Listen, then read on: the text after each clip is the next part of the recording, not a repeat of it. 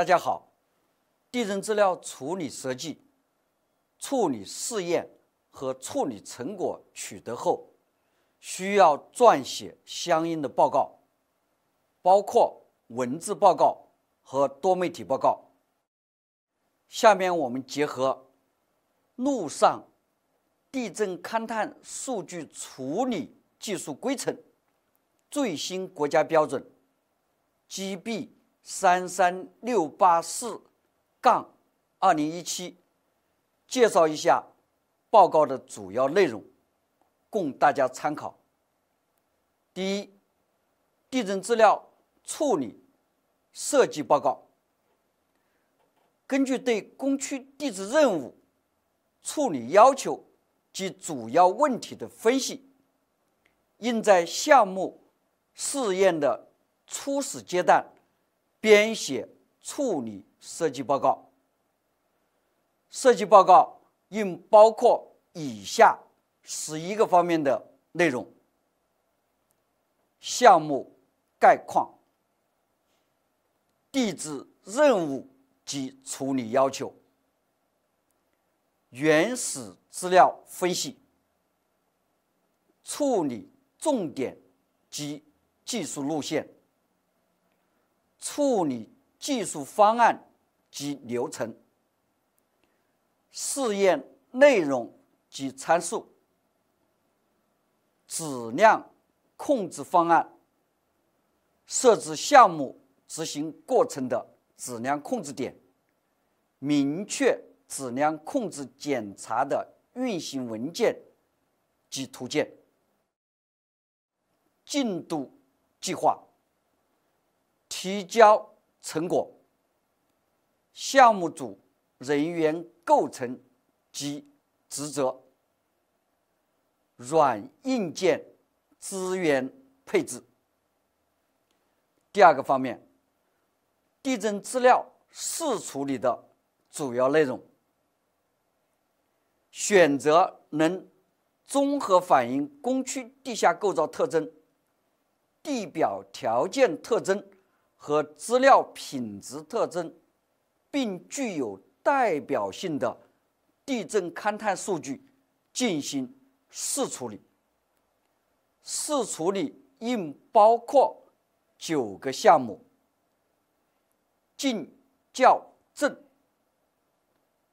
叠前噪音压制、政府补偿、反折机、速度分析、动校正拉伸畸变切出、偏移速度场、偏移方法及参数、滤波。和争议，分析试验资料，选择处理方法和参数，确定处理流程。第三，地震资料处理最终成果及其报告。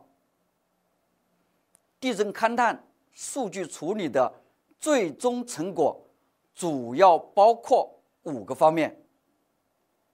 最终叠加的存播数据和成果数据，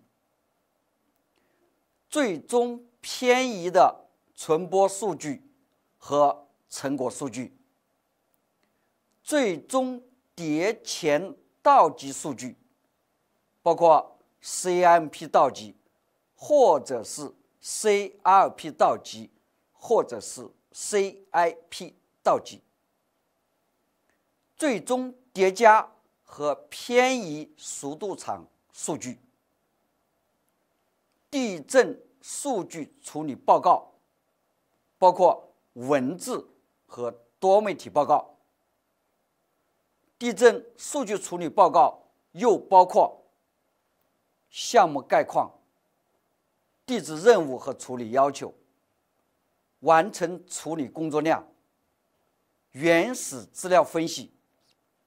试验内容及参数，处理过程中应用的主要技术，处理流程及效果分析，处理过程质量控制认识与建议。